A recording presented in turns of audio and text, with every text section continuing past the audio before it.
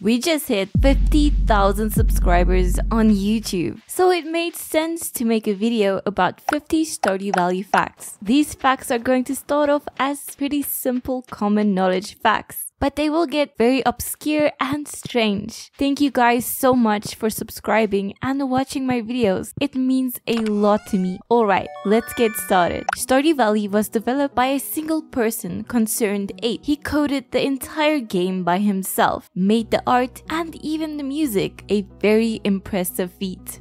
Stardew Valley has a ridiculously comprehensive character creation system. There are two genders, 24 skin tones, 73 hairstyles, 112 shirts, 4 pants, and 20 accessories. Plus, you can color each item with a RGB color picker. If you use Concerned Ape or Stardew Valley as your favorite thing in character creation, you will get a special message whenever you find a stardrop. There are two ways to progress in Stardew Valley. You can either use the power of Junimos to restore the community, or you can sell out to the mega corporation and just buy your way through the game. Based on Steam achievement stats, 18% of Stardew Valley players have completed the community center, while only 3.5% of players have completed the Joja Mart. The hardest achievement in the game is called Fector's Challenge that requires you to beat Journey of the Prairie Kings minigame without dying. Only 0.7% of players have completed this challenge. There is a very special combination of keys that will let you cancel animations. Just press the right shift key, the delete key, and the R key at the same time. Timing is important, but this will let you play the game at a ridiculous speed. If you accidentally run out of energy in Stardew Valley, you will be put in an exhaustive state. This will leave your character walking at a crazy slow speed. Instead of slowly making your way back to your house, it's actually faster to keep using tools until you pass out. If you had a bad day and accidentally died in the mines or accidentally gave Abigail a piece of sap, you need not worry. The game only saves when you sleep, so you can just quit the game and start the day all over again. Stardew Valley has marriage. All you need to do is bribe someone by giving them tons of diamonds until they eventually say yes.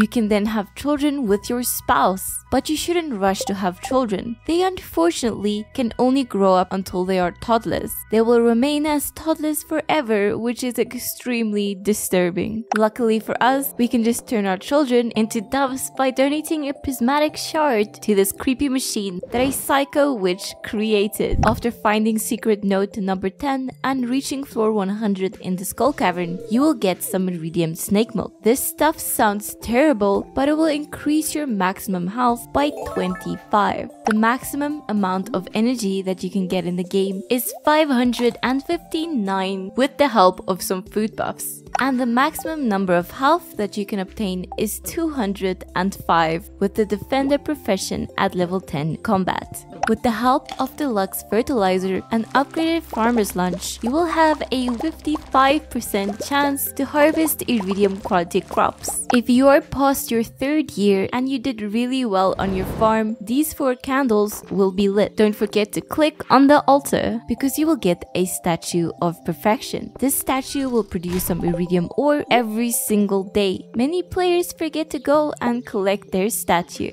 Hammers in Stardew Valley have a hidden move. When you use the special attack, spam the normal attack button as fast as you can. This will cause your special move to deal crazy amounts of damage, decimating anything in your path. If you need to purchase tons of items really fast, hold down the shift key to purchase 5 items at a time. While you are doing this, hold down the right mouse button to continuously purchase one item at a time. This method of purchasing is really fast. After unlocking the quarry, you can go through a mini cave to find yourself a golden scythe. The golden scythe is not just for show, as it will harvest more hay than the regular scythe when used on wild grass. With the maximum amount of luck bonuses and boosts, you can have a 60% chance of finding a treasure chest when fishing. Happy treasure chest hunting! I have never really heard of people actually using this, but you can transmute ores into higher tiers. For example, you can take take two iron bars and turn it into one gold bar. This might actually be useful if you have tons of a specific ore that you do not need.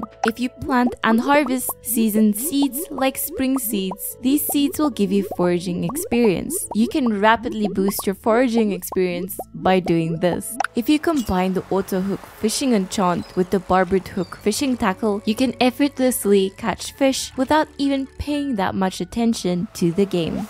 Junimo chests are pretty cool. They share the contents of every other Junimo chest in the game. Place these into convenient spots around the town with some love gifts in them. Stardew Valley does not have diminishing returns. That means you can completely stack a single stat and get some pretty hilarious results. Since iridium bars sell for so much, it's actually a viable way to make gold in Stardew Valley. With the blacksmith profession, each iridium bar will sell for 1,500 gold. You can actually upgrade your trash can. With each upgrade, the items you drop in the bin will give you a percentage of the item's value back in gold. Stardew Valley has a huge range of fishing bait. The description of the magnet says that fish do not like it. However, it will give the same effect on fish as a regular bait, resulting in faster bite when compared to fishing without bait. Geodes are not influenced by luck in any way. Actually, geodes are all predetermined as soon as your save file is created. You can check on the Stardew Valley predictor site when you will get a prismatic shard if you want to. You can use casks to age wine to increase the value. But did you know that you can also age cheese using casks? You can place an end table on another and cause it to flip. This can help you with decorating your farmhouse by hiding the drawer on the front of the end table. When combining rings, you can combine two iridium bands with two glowstone rings. All of these effects will stack with each other and you can walk around as the sun. Good for people who are scared of the dark. You cannot eat regular mayonnaise, duck mayonnaise, or even dinosaur mayonnaise. But strangely, you can eat void mayonnaise. It will just cause you to lose energy, so you should probably avoid eating it.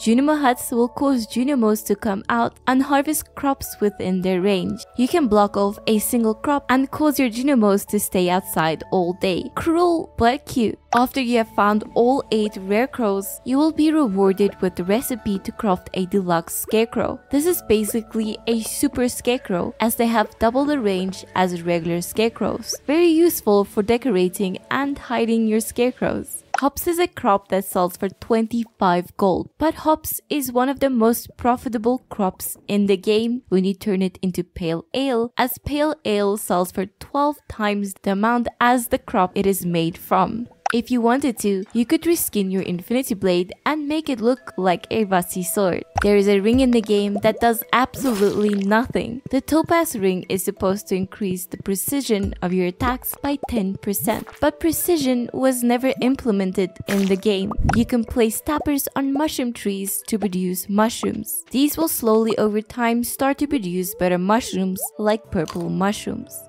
Looking for battery packs? Just fill up a fish pond with stingrays. They have a chance to produce batteries every single day. Have you ever lost an item by accident? Well, no need to worry. There is a lost and found box in Mayor Lewis's manor. This is helpful when you forget to collect your Grange display items. You can buy a statue of endless fortune at the casino for 1 million gold. This statue will produce love gifts and other really useful items. Unfortunately, this is a pure convenience item as it will take 8 years to pay for itself. Before Stardew Valley was released, the game was incredibly different during the development phase. For example, Alex was going to be called Josh and they looked very different. I am quite happy with how Josh, uh, I mean Alex turned out. Stardew Valley was also planned to have procedurally generated dungeons. It looks like it could have added a very fun and interesting randomness to the current dungeon diving. Stardew Valley was developed with an animal butchering system and the system is currently still in the game today. There are mods that that simply activate this existing system, Concerned Ape said it just felt wrong because you take these animals from babies and you pet them and then what? You butcher them? During development, this game used to have a luck stat and some of the proposed professions would increase your average daily luck or even remove the chance of getting a bad luck day altogether.